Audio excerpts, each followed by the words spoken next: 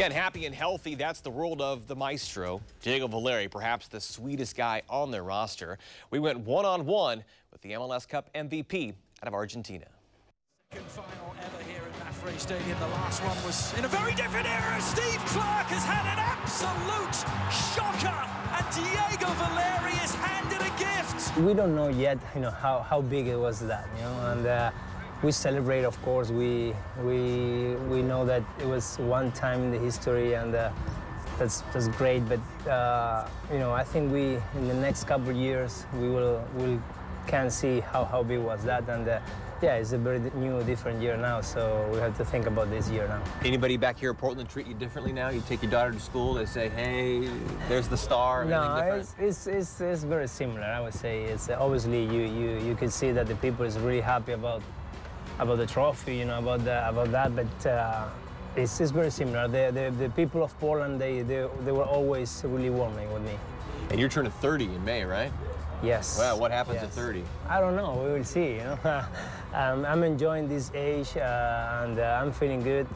So yeah, you know, I, I, I, don't I don't care about that. You know, but uh, we'll see. You know. Age is just a number, yeah. right? Yeah.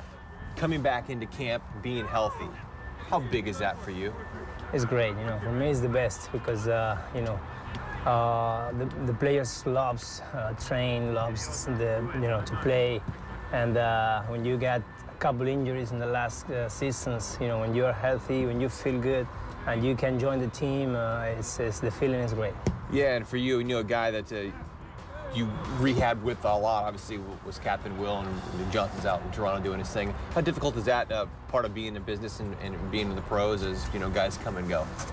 Uh, you know, it's very difficult because uh, it's, uh, you, I think, uh, you know, nobody wants that, you know, in, the, in every profession, but this is worse because you, you, when you train, when you're training outside of the field, you can see the team, you know, training and uh, it's horrible. So, yeah, like I say, you know, I, I could I could do it well this this preseason, and I'm really happy about that. Ready for the first game.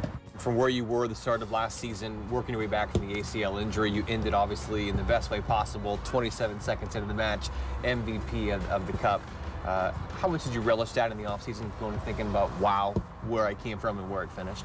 Yes, you know, it was amazing. I, I was thinking during the offseason about that, and it was a long year. It was a, a strange year, but uh, amazing. Right? You, I didn't expect uh, that style of year, you know, uh, starting with the ACL rehab and and then finish it with the with the trophy, uh, with the MLS trophy. So uh, really, really happy about that. I always, you know, when I arrived here, I always wanted that, and uh, it was uh, it was a dream.